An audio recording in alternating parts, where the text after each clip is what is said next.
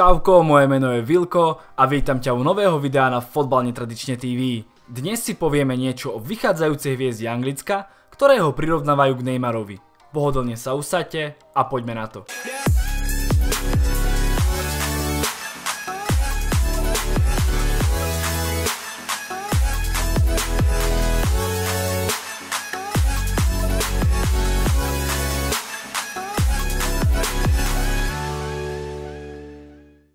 poslednom období sa vo futbalovom svete často skloňuje iba jedno meno. Jadon Sancho, a.k.a. anglický Neymar.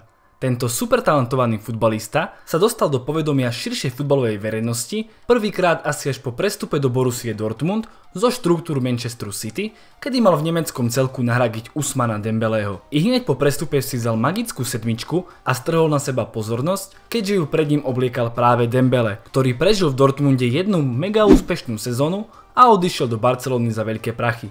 Čo si teda v dnešnom videu povieme? V prvom rade si samotného Sanča predstavíme, povieme si o koho ide, čiže nejaké fakty a základné informácie. Ďalej si povieme, čo o ňom povedal jeho mládežnický tréner, nezabudneme ani na porovnanie s Neymarom, ďalej herný štýl, silné stránky, no a v závere vyslovím svoj názor, či Gareth Southgate urobil dobre, že Sancho dostal pozvánku do reprezentácie po tak krátkej dobe. Takže kto je teda Jadon Sancho? Sancho je 18-ročný anglický krídelník, narodený už novom miléniu, presnejšie 25. marca 2000. Narodil sa, môžeme povedať, že nedaleko Londýna a presne tam aj futbalovo vyrástol. Už ako 7-ročný sa pripojil ku akadémii Watfordu, v ktorom pobudol do 14 rokov, keď sa upísal Manchester City. Už od mládežnického veku bol taktiež súčasťou anglických výberov, či už u 16, u 17 alebo u 19. Za zmienku stojí najmä pôsobením vo výbere U17. V roku 2017 mladé anglické levy alebo levíčatka sa prebojovali prv do finále majstrovstie Európy svojej kategórie, kde podľahli Španielsku. Pre Sanča určite smutný okamih, no práve anglický krídelník bol zvolený za najlepšieho hráča celého turnaja a taktiež bola jeho tretím najlepším strelcom. Celkovo si na turnaji pripísal 5 gólov, pridal k tomu aj 5 asistencií. Celkovo tak prihrával alebo asistoval každých 45 minút na turnaji.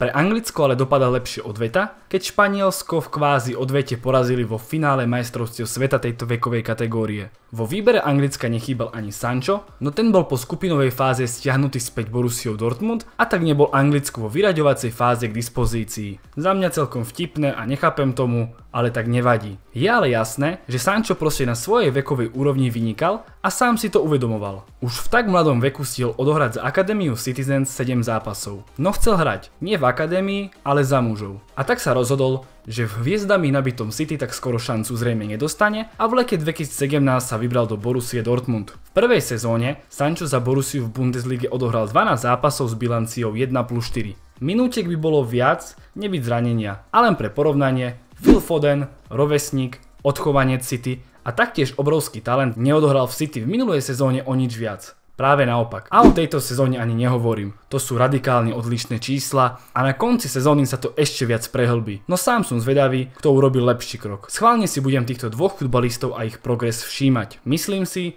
že z tohto hľadiska zrejme urobil Sancho skvelý ťah. Nešiel hosťovať niekde do Championship.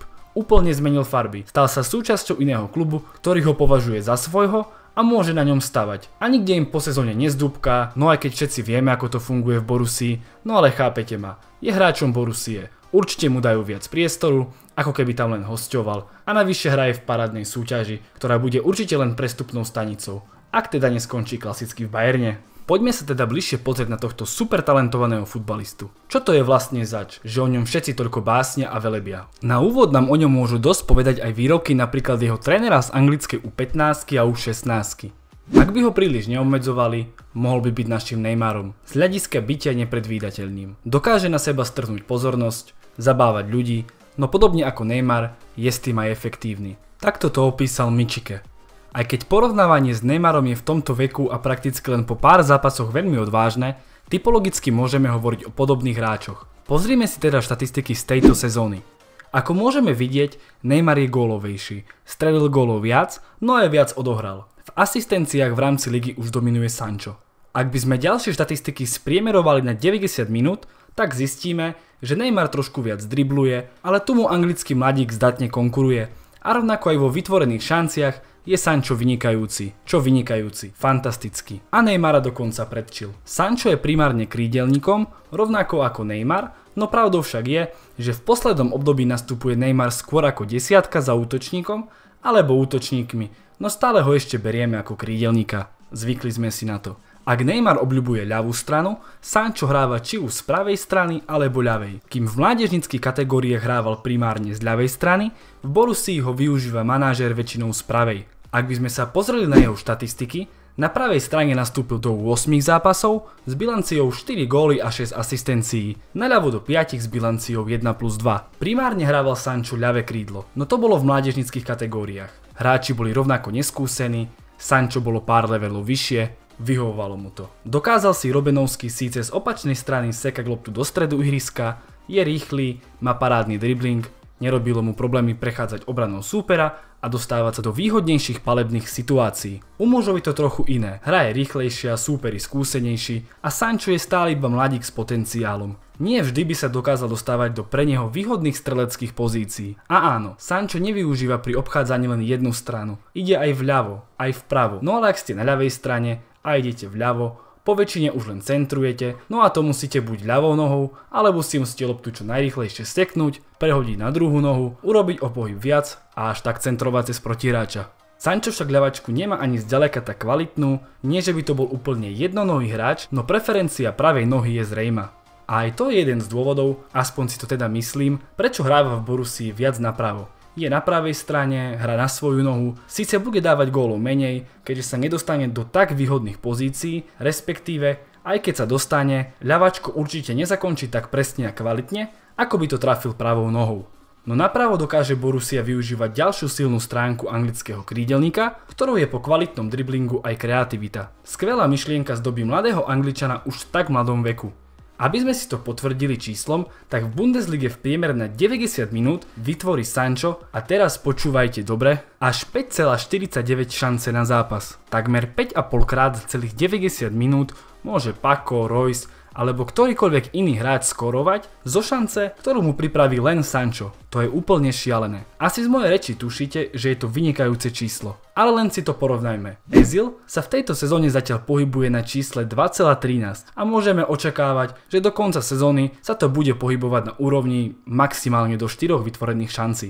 Ak som spomínal slabé stránky, respektíve slabšie, tak zatiaľ môžeme hovoriť len o tej ľavej nohe, na ktorej by mal Sancho zamakať. Ono to nemusí byť úplný handicap, ale keďže Sancha vidím do budúcna asi najreálnejšie na ľavej strane, kvalitnejšia ľavá noha by mu určite priniesla do jeho hry ďalšie možnosti. Samozrejme sú tu aj ďalšie veci, ktoré nevidíme, aká je Sančova morálka, ako maká, či bude makať, či zvládne ten tlak a aj to, že protihráči si ho začnú viac všímať, viac študovať a už pre nich nebude veľkou neznámou. Je pred ním dlhá cesta a stále to môže skončiť všelijako. Zatiaľ však výkony Sanča môžeme v tých pár zápasoch v Ačku hodnotiť veľmi pozitívne a to samozrejme nemohlo ujsť pozornosti Greta Southgatea, ktorý ako iste viete vedie anglickú reprezentáciu. Ten ho nominoval v rámci Ligy národov na dvojzápas s Chorvátskom a Španielskom. V tak mladom veku tak neskúseného, no s tak dobrou formou. Tu vyjadrím trochu svoj vlastný názor, s ktorým možno nebudete súhlasiť, no pravdu povediac, nemyslím si, že mal byť Sancho už tak skoro nominovaný do reprezentácie. Navyše, v tom čase mal Sancho odohrané len 214 minút v Bundeslige, ak rátame len túto sezónu. A len raz odohral plných 90 minút. Ak toto stačí na anglickú reprezentáciu, navyše u tak mladého hráča, no neviem. Mal som z toho zmiešané pocity. Navyše, u Sanča veľmi nehrozí, že pôjde reprezentovať inú krajinu, i keď teoreticky by mohol Trinidad a Tobago. No povedzme si úprimne, verím, že toľko by na pozvánku do anglickej reprezentácie určite počkal. To sú zas klasickí Angličania, ktorí ako na týchto majstrovstvách sveta ešte ani neboli v semifinále a už sa videli ako majstri sveta. A teraz máme ešte len rok 2018 a už sa tu rieši, že Anglicko vyhrá majstrovstvo sveta, lebo má pred sebou silnú generáciu. Áno, určite je silná a aj o nej natočím video, no v spojení s Anglickom treba byť mierny. Zvlášť ak sa bavíme o mladých talentovaných futbalistoch, lebo moc médií v Anglicku je hrozne silná a už zrobili hviezdu z toľkých hráčov a nakoniec ako to dopadlo. Takže za mňa mohol určite ešte Southgate aspoň do najbližšej repre pauzy počkať a kľudne aj do nového roka, ale to je len môj názor. Otázka pre vás. Nominovali by ste Sanča do reprezentácie už po 214 minútach v Bundeslige? Aby som to nejak celé uzavrel, Sancho je šikovný mladý futbalista. Rýchly, dravý, nebojí sa súbojov 1 versus 1, disponuje veľkou kreativitou, no stále je tu len mladý hráč, ktorý musí svoj talent potvrdiť. Ani nie, že v ďalšej sezóne, ale v ďalšom zápase. Takže áno, a ja som ho dnes vyzdvihoval, no na druhej strane pri týchto futbalistoch treba trochu krotiť nadšenie a až čas ukáže, akými krokmi sa bude vyvíjať kariéra tohto futbalistu. Moje meno je Samuel Vilkovský a teším sa na teba pri ďalšom videu na Fotbal Netradične TV.